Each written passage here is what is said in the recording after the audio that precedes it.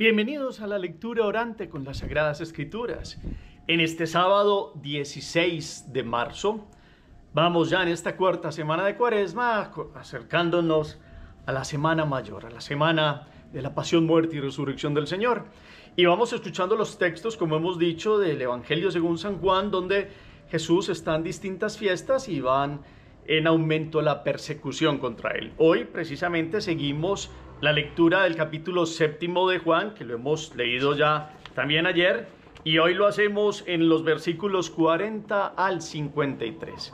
Escuchemos. En aquel tiempo algunos de entre la gente que habían oído los discursos de Jesús decían, este es de verdad el profeta. Otros decían, este es el Mesías.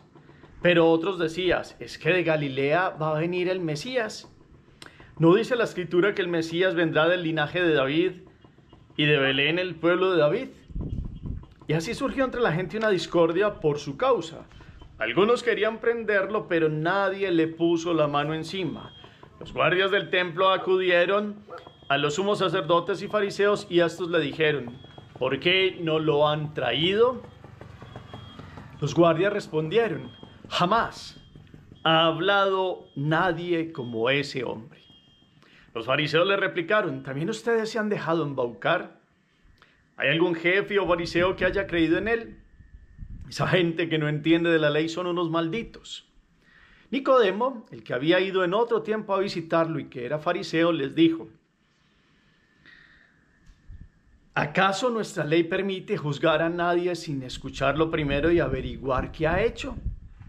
Ellos le replicaron, ¿también tú eres Galileo? Estudia y verás que de Galilea no salen profetas. Y se volvieron cada uno a su casa. Palabra del Señor. Gloria a ti, Señor Jesús. Pidamos en este sábado la presencia, la gracia del Espíritu Santo. En este día que meditamos también en la Santísima Virgen María, en este sábado, ella, la plena del Espíritu, nos enseña a vivir en la gracia de aquellos dignos templos del Espíritu de Dios. Digamos, ven Espíritu Santo, llena los corazones de tus fieles y enciende en ellos el fuego de tu divino amor. Envía tu Espíritu y todo será creado y renovarás la paz de la tierra. Espíritu Santo, ilumínanos, santifícanos con tu gracia, presencia y luz. Amén. Volvemos la mirada al texto. Las palabras se posan en el texto, el corazón reposa en el sentido. Hacemos una primera relectura. ¿Dónde está Jesús? ¿Qué dice la gente? Unos dicen una cosa, otros dicen otra cosa, otros empiezan a preguntarse de dónde viene el Mesías y con eso van dando unas afirmaciones. ¿Cuáles son esas afirmaciones? Los que quieren prender los que pasan envían a unos y esos terminan diciendo algo, algo muy llamativo que dicen de Jesús. Y después se siguen haciendo la pregunta si hay jefes que creen en Él, a que ante esta respuesta que dicen ellos y aparece uno que habla de Jesús, que dice de Él. Y ellos le hacen una réplica. ¿Y qué termina diciendo el texto? Hacemos la pausa, la palabra habla y resuena el corazón. La segunda lectura es para que nos quedemos con un versículo, con una expresión, con una palabra, con un gesto, con algo que nos haya llamado, la atención. Ojalá pongamos el versículo ahí en el chat. Tercera lectura es una síntesis para que ustedes y yo pasemos a la meditación. Seguimos en la fiesta de los tabernáculos, un momento puntual donde Jesús como hebreo sube en un tiempo que aproximadamente para los hebreos es en el tiempo de, octubre. Es una fiesta que recuerda cuando los hebreos han vivido en el desierto y entonces van allí y viven en tiendas y van al templo, el lugar central de la oración y del encuentro con Dios para todo hebreo y judío. Entonces ayer veíamos cómo Jesús verdaderamente después de, estar incógnito llega a la tienda de las fiestas, de, las, de los tabernáculos a esta fiesta y empieza a hablar y cómo entonces viene a decir como a mí me conocen, decía ayer, eh, y, saben de dónde vengo. Sin embargo, yo no vengo por mi cuenta, sino que el verdadero es el que me envía. Escuchábamos esta afirmación de Jesús y entonces intentaban agarrarlo, pero nadie le podía echar mano porque no había llegado su hora. Siguen los días de la celebración Y previo a este pasaje hay algo muy importante en los versículos anteriores. Ustedes pueden ver cómo Jesús llega un momento en que grita y en el buen sentido de una oración que dice, el que tenga sed, que venga y beba, eh, porque de los que crean, de ellos correrán ríos de agua viva. Él estaba, lo había dicho en la plena celebración de las tiendas.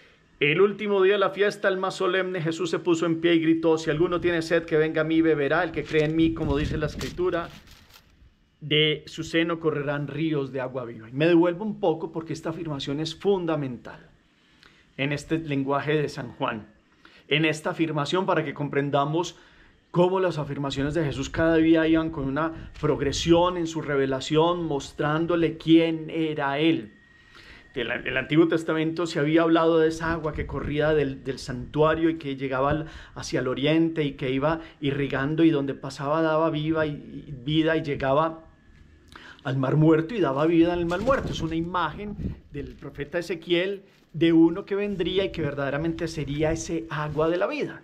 Entonces ese es el contexto que Jesús acaba de manifestar, nada más ni nada menos en la tienda, en la, celebración de las tiendas. Por eso, acto seguido, muchos empiezan a, decir su impresión sobre él, que es lo que tenemos en este día. Unos dicen, este es el profeta, otros dicen, verdaderamente este es el Mesías, y otros se quedan resbalándose en unas cosas insignificantes como el origen, porque pues no van más allá porque piensan que como habla como Galileo y como que se crió en Nazaret, piensan que es de Nazaret y no van a corroborar algo que ya sabían muchos, que verdaderamente él había nacido en Belén de Judá y que los pastores habían dado testimonio del nacimiento de un niño y habían recibido el mensaje de unos ángeles. No van más allá, porque son los que se contraponen contra Jesús, que son los jefes religiosos judíos de aquella, de aquella época. Entonces surge una disputa, quieren prenderlo, mandan a los guardias y los guardias se quedan admirados. Esto es fundamental también en este mensaje de hoy porque jamás ha hablado nadie como ese hombre. Ese es el momento en que eh, los jefes increpan a estos porque no lo han detenido. Y ellos dan una afirmación que es fundamental también para nosotros. Nadie ha hablado jamás como ha hablado Jesús. ¿Por qué? Porque Él es el que tiene la palabra de Dios. Él es la palabra, Él es el verbo encarnado, Él es la palabra de vida que viene a alentar la fe de todos los creyentes. Él es quien tiene una palabra nueva de vida, de alegría, de gracia, de vigor, de, de fortaleza, de esperanza. Solo Él tiene palabras de vida eterna, como lo ha dicho inclusive San Pedro allí en el capítulo sexto, cuando le dice a quién iremos, solo tú tienes palabras de vida eterna. Nadie ha hablado como Él, hasta los que tenían que aprenderlo se quedan admirados. En cambio los otros jefes, llenos de rencor, llenos de rabia, siguen discutiendo, siguen tratando de prenderlo, pero no pueden porque la gente mucha está admirada y lo reconoce ya como un profeta. Y entonces llega un testimonio y es el testimonio de un jefe, porque también ellos se dicen, ellos se preguntan, ¿hay algún jefe o fariseo que haya creído en él? Y resulta que, San que José de, de, Arimatea venía creyendo en él. Y resulta que Nicodemo, aquel que había ido a entrevistarse en el capítulo tercero, lo dice Juan, con él por la noche en, un momento por miedo de los judíos, había escuchado a Jesús que le había hablado del nacer del agua y del espíritu, un nacimiento nuevo y venía creyendo en él. Y tiene la osadía de, dar un testimonio como de respaldo a Jesús diciéndole, venga, es que cómo vamos a juzgar a alguien sin haberlo escuchado primero y averiguar lo que ha hecho. Y esta fuerza de Nicodemo aparece hoy como, como ponerse a favor de Jesús, por lo menos para que se haga justicia y estos llevados de su rabia no vayan a cometer un acto de injusticia. Y estos le responden con rabia, también tú eres Galileo, estudia a ver si de Galilea podían en profetas no saben el verdadero origen de Jesús, no quieren reconocer que las obras de Jesús verdaderamente dan testimonio de que es el enviado del Padre, del veraz, de quien es el dueño del universo entero. Pues aquí la palabra nos invita hoy a meditar sobre nuestra posición ante Jesús. Aquí unos lo escuchan, unos dicen una cosa, otros dicen otra cosa. Ustedes y yo en este camino de cuaresma ¿Qué pensamos de Jesús? ¿Cómo nos relacionamos con Él? ¿Somos capaces como Nicodemo de ponernos a favor de Él? Por lo menos de, de dar la cara. O tenemos miedo, tenemos respetos humanos, o, o muchas veces cuando nos toca vivir la fe y manifestarla y tener coherencia, pues nos vamos como debilitando y nos, y nos, y nos llenamos de miedo. O tal vez hemos sido como estos que puedan decir, como estos que los mandaron a aprenderlo, como es que nadie ha hablado como Jesús ni otros que se llaman de, que respetamos, que son los profetas de, una, de otras religiones. Para nosotros Jesús es más que cualquier profeta, es el Hijo de Dios. Y por ende nadie tiene la sabiduría de Él porque Él es la sabiduría encarnada. ¿Será que eso lo reconocemos? ¿Será que podemos todos los días al escuchar, hacer esta lección divina ustedes y yo decir, es que verdaderamente nadie habla como Jesús?